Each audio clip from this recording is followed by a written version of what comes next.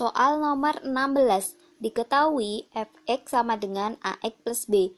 Jika f4 sama dengan 5 dan f-2 sama dengan min 13, maka nilai dari f-4 ditambah f2 adalah a min 20, b min 18, c 4, d 5.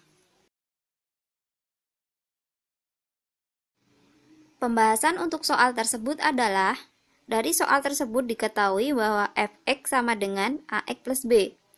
Untuk f4 sama dengan 5, kita dapatkan persamaan 4a plus b sama dengan 5.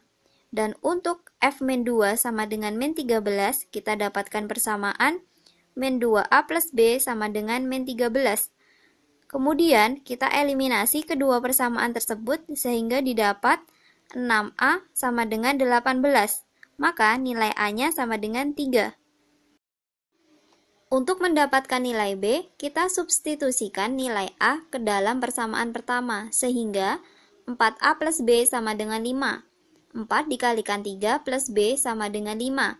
Maka B-nya sama dengan 5 min 12. Dapat B-nya sama dengan min 7. Sehingga rumus fungsinya menjadi 3x min 7. Untuk f min 4 sama dengan 3 dikalikan min 4 min 7 sama dengan min 12 min 7 sama dengan min 19. Untuk f2 sama dengan 3 dikalikan 2 min 7 sama dengan 6 min 7 sama dengan min 1. Untuk f min 4 ditambah f2 sama dengan min 19 ditambah min 1 sama dengan min 20. Jawaban yang tepat adalah A. Soal nomor 17. Himpunan penyelesaian dari pertidaksamaan 3x min 2 kurang dari 8x plus 23 dengan x bilangan bulat adalah A. Himpunan x di mana x kurang dari min 5 dengan x bilangan bulat. B. Himpunan X di mana X lebih besar dari min 5, X bilangan bulat. C. Himpunan X di mana X kurang dari 5 dengan X bilangan bulat. D. Himpunan X di mana X lebih besar dari 5 dengan X bilangan bulat.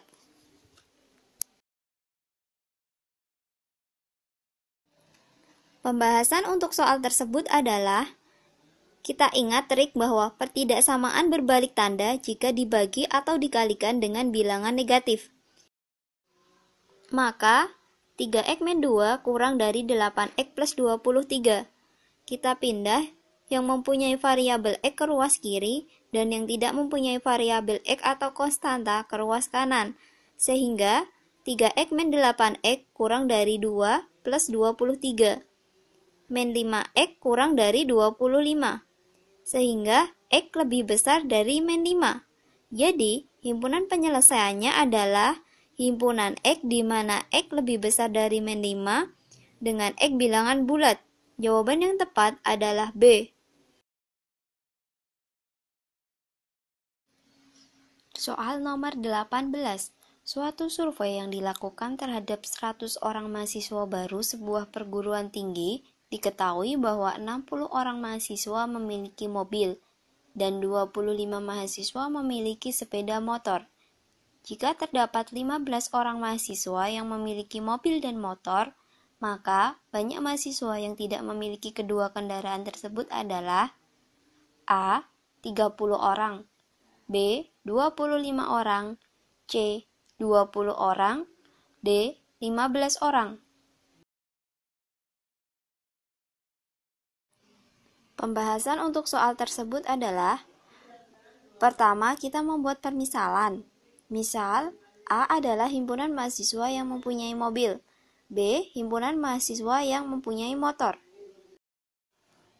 Maka, banyak anggota himpunan semestanya sama dengan 100. Banyak anggota himpunan A sama dengan 60 dan banyak anggota himpunan B sama dengan 25. Sedangkan banyak anggota himpunan irisan A dan B sama dengan 15. Sehingga banyak anggota himpunan semesta sama dengan banyak anggota himpunan A ditambah banyak anggota himpunan B dikurangi banyak anggota A irisan B ditambah banyak anggota himpunan A digabung B komplement.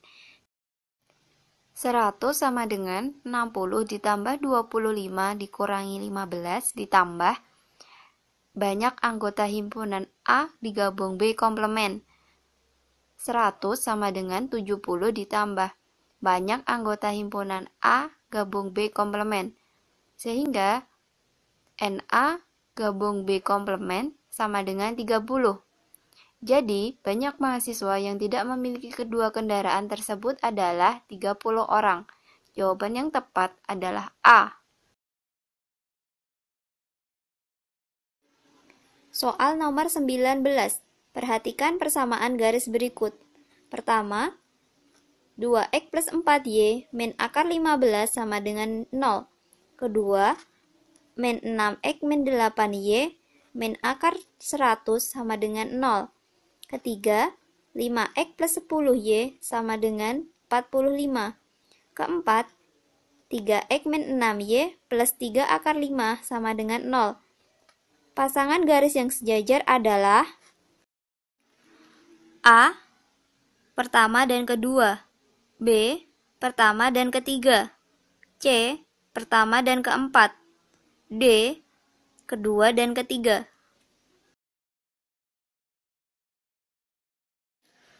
Pembahasan untuk soal tersebut adalah untuk persamaan garis pertama 2x plus 4y min akar 15 sama dengan 0 didapatkan nilai m sama dengan min 2 per 4 sama dengan min 1 per 2 untuk persamaan garis kedua, min 6x min 8y min akar 100 sama dengan 0 didapat nilai m sama dengan min min 6 per min 8 sama dengan 6 per min 8 sama dengan min 3 per 4. Untuk persamaan garis ketiga, 5x plus 10y sama dengan 45 didapat nilai m sama dengan min 5 per 10 sama dengan min 1 per 2.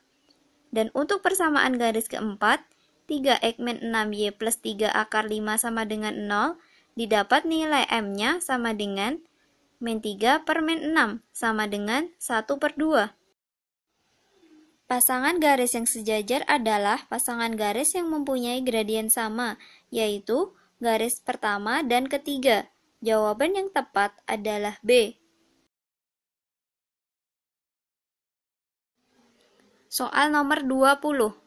Persamaan garis yang melalui titik 2,5 dan tegak lurus terhadap garis yang melalui titik min 1,4 dan 2,1 adalah A. 3x min 5y sama dengan 31 B. 3x min 5y sama dengan min 31 C. 5x min 3y sama dengan 31 D. 5X plus 3Y sama dengan 31.